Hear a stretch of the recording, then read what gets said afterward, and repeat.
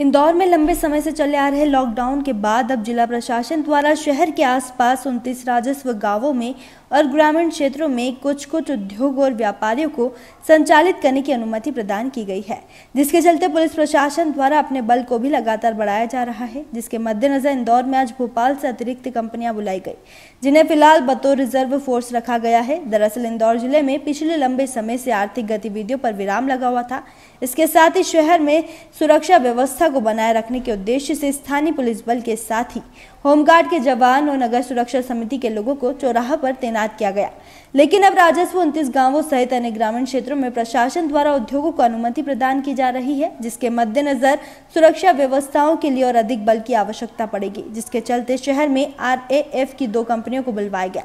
इन कंपनियों को शहर में बुलाने को लेकर इंदौर डीआईजी हरिनारायण चारी मिश्र ने बताया कि फ़िलहाल ये कंपनियाँ रिज़र्व बल के तौर पर शहर में रहेगी, जिन्हें आवश्यकता के अनुरूप पुलिस बल और होमगार्ड के जवानों के साथ तैनात किया जाएगा। का बल बुलाया गया है। किस उद्देश्य के साथ शहर में आए हैं?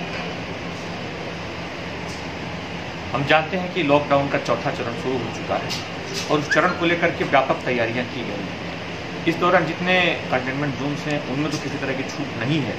लेकिन कंटेनमेंट जोन के बाहर के जो इलाके हैं उनमें धीरे धीरे कुछ चीज़ें खुल रही हैं या उनमें कुछ परिवर्तन हो रहा है।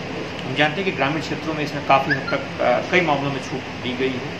इसके मद्देनज़र अलग अलग जगहों पर पुलिस की भूमिका बढ़ती जाएगी जैसे कि कई जगहों पे जो जो कृषि संबंधी कार्य हैं, बढ़ रहे हैं। कई छोटे छोटे फल और सब्जियों के जो वितरण के छोटे छोटे केंद्र खुल गए हैं कई जगहों पे।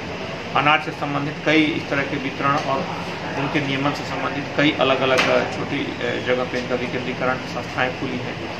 इसके कारण पुलिस की जो ज़िम्मेदारी है इन क्षेत्रों में बढ़ेगी साथ ही साथ जो इंदौर की अगर हम बात करें तो उनतीस जो राजस्व गाँव हैं जो कि नगर निगम की सीमा में हैं उनमें भी कई छूटें दी गई हैं।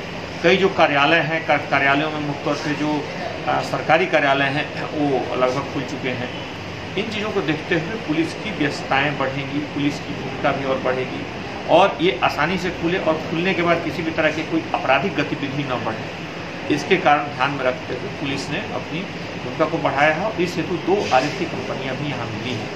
इन कंपनियों में जो पुलिस की जो पूरे पहले से बल है, यानी कि जो जिला बल है, कुछ होमगार्ड्स के जवान हैं, जहाँ जो एसएफ की कंपनियाँ हैं रक्षा समिति के सदस्य उसको मदद कर रहे हैं। इसके अलावा ये आर की कंपनियाँ हैं। हालाँकि इनको रिज़र्व में रखा गया है, लेकिन ज़रूरत पड़ने पर इनको अलग अलग क्षेत्रों में तैनात किया जाएगा। देखिए अब आपके मोबाइल और स्मार्ट टीवी पर लाइव प्ले स्टोर से डाउनलोड करें।